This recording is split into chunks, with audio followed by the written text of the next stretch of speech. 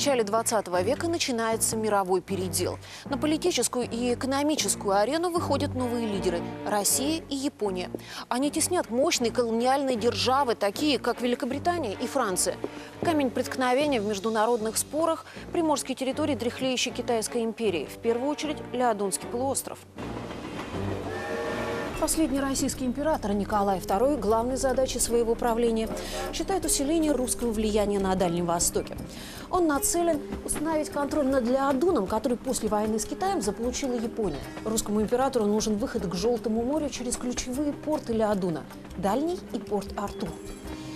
Знак решительности своих намерений Николай II начинает прокладывать к Леодуну железную дорогу. И Дальний, и порт Артур были у Японии уже в кармане. По условиям мирного договора Китай отдал стране восходящего солнца всю Манчжурию или Адунский полуостров. Однако Россия не позволила дальневосточному соседу насладиться победой. Она вынуждает Японию вернуть полуостров Китаю и берет Леодун в аренду.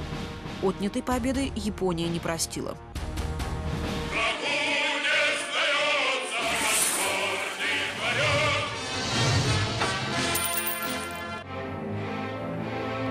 Конце 1904 года Япония без объявления войны обстреливает русские корабли на рейде порт Артура. В Корейской бухте Чемульпо знаменитый крейсер «Варяг», символ доблести русского флота, принимает сражение с японской эскадрой. После неравного боя капитан крейсера Всеволод Руднев решает, не спуская флага, затопить корабль из-за тяжелых повреждений. Так начинается русско-японская война.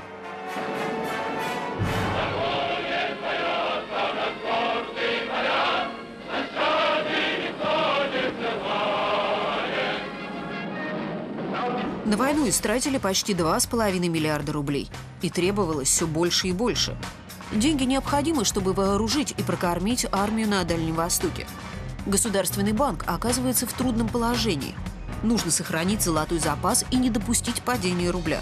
Стал вопрос о прекращении свободного размена банкнот на золото. В первые месяцы войны в стране патриотический подъем – даже революционно настроенная молодежь по эту зимнего «Боже, царя храни». Но уже через год русские войска терпят поражение. В январе после героической обороны сдается порт Артур. В мае происходит трагическое поражение русского флота при Цусиме. Настроения в обществе резко меняются. 77% населения России составляют крестьяне. Именно они почувствовали на себе обратную сторону золотой реформы – дороговизну продуктов – не лучше положение у пролетариата. Мизерные зарплаты, 12-часовой рабочий день и полное бесправие. 9 января 1905 года народ идет просить у батюшки царя лучшей жизни. Войска демонстрантов расстреливают. С кровавого воскресенья начинается первая русская революция. Бастует вся империя. Останавливаются фабрики, заводы, железные дороги. Страна ежедневно теряет миллионы рублей. Сохранить экономическое чудо Виты могут только внешние займы. Однако, когда французские банкиры приезжают в Петербург обсудить условия, они видят критичность ситуации и спешно покидают российскую столицу. В 1905 году Лев Троцкий под фамилией Арбузов нелегально возвращается из Европы в Россию и публикует финансовый манифест. Троцкий утверждает – Золотой запас Государственного банка ничтожен. Он призывает крестьян не платить по выкупным платежам, а рабочих требовать выдачу заработной платы исключительно золотом. Троцкий прекрасно понимает, не будет твердого рубля, империя развалится. Государственный банк выдерживает настоящую осаду. Толпы вкладчиков пытаются вытащить из касс свои сбережения, причем обязательно золотом.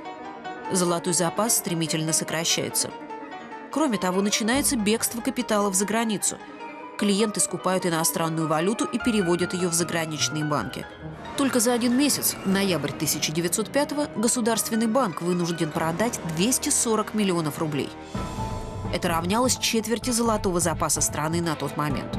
Как результат, золотой запас уже не покрывает количество бумажных денег в стране. Государственный банк больше не может выпускать банкноты, его законное эмиссионное право исчерпано. Государство оказывается на грани банкротства. Николай II идет на беспрецедентную меру.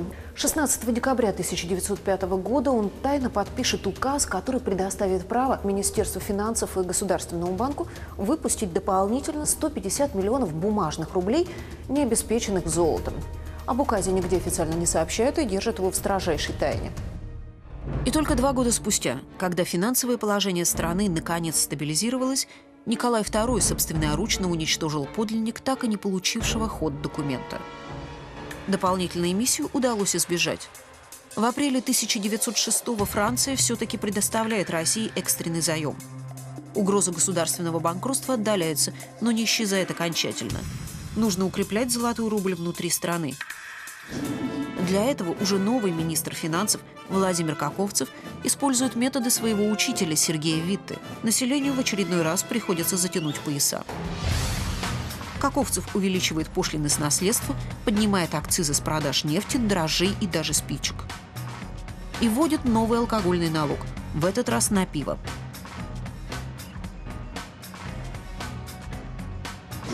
В апреле 1906 года премьер-министром страны становится Петр Аркадьевич Столыпин. Новый глава правительства меняет экономический курс империи. Он делает ставку на аграрную политику и отправляет крестьян на новые земли – в Сибирь и за Урал, обещая отдать наделы в частную собственность. В связи с новым курсом Государственный банк меняет свою кредитную политику. Если раньше крупные суммы он сужал акционерным коммерческим банкам, то теперь в больших объемах выдаются суды под хлеб.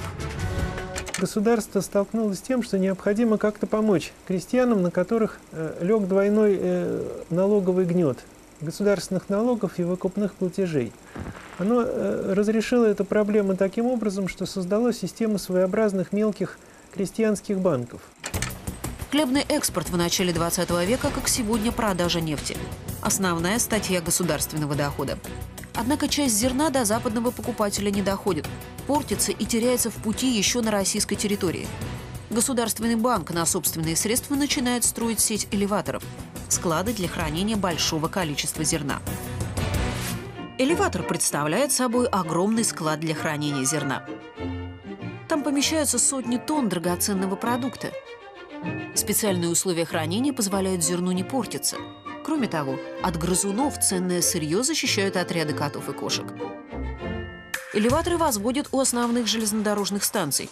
Принцип работы элеватора прост и практичен. Когда под него заезжает поезд, в вагон засыпается необходимое количество зерна. Такая система исключает порчу и воровство продукта. Сеть зернохранилищ и элеваторов позволила Государственному банку копить золотые запасы зерна. Россия могла диктовать свои условия на мировом рынке, когда цены на хлеб снижались, Государственный банк притормаживал экспорт. Когда росли, объем экспорта увеличивался. К 1909 году Россия по темпам промышленного роста и объему золотого запаса выходит на уровень дореволюционного 1904 года. Государственный банк становится одним из самых крупных европейских центральных банков. Его конторы и отделения открыты во всех больших городах и крупных губернских центрах. 1913 году в регионах работает 138 учреждений Государственного банка. В начале 20 века управляющий провинциальной конторой Государственного банка, местная знаменитость, его знают все, от него требуют того же. В провинциальной жизни мало что изменилось за последний век. Управляющий банком должен помнить дни именин первых лиц города и даже дни именин их жен и детей. Дела зачастую решаются не в конторе, а в домах местной знати.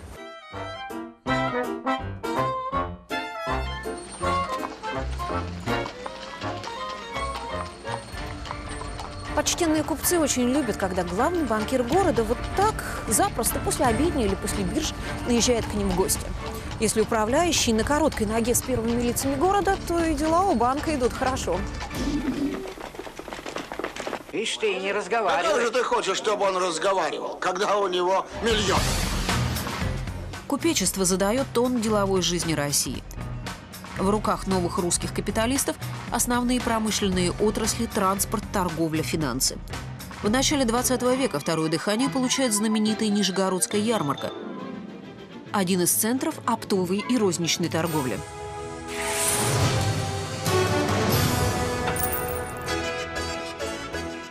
На ярмарку ежегодно съезжается 200 тысяч человек. И это при том, что в самом Нижнем проживает чуть больше ста. Отделение Государственного банка активно кредитует бойкую торговлю, помогает городу строить гостиницы, трактиры, цирюльни, кузницы и аптеки. Для заключения сделок на территории ярмарки открываются филиалы крупнейших коммерческих банков. Акционерные коммерческие банки в конце 19 столетия всего лишь скромные посредники в платежах. Но за первые 10 лет 20 века при поддержке Государственного банка они становятся крупными промышленными кредиторами. Коммерческие банки финансируют торговлю и промышленность, а их, в свою очередь, кредитует главный банк страны. Банкам необходимо иметь какой-то внешний резервуар, из которого они могли в случае необходимости получать дополнительные средства. Таким резервуаром и выступает Центральный банк или Банк банков. К 1914 году зерна Россия экспортирует столько же, сколько Аргентина, Америка и Канада вместе взятые. А от продажи сливочного масла получает такой же доход, как от добычи золота. Вот здесь на этом столе почти 400 килограмм золота. Чуть меньше 13 килограмм в каждом слитке. В Государственном банке Российской империи в 1914 году хранится самый большой золотой запас в Европе. Свыше 1300 тонн золота. Это 3000 таких столов. Российский рубль – твердая и конвертируемая мировая валюта. Однако золотой век российского рубля окажется ярким и недолгим. Финансовое могущество Российской империи вскоре исчезнет в огне Первой мировой войны и Октябрьской революции.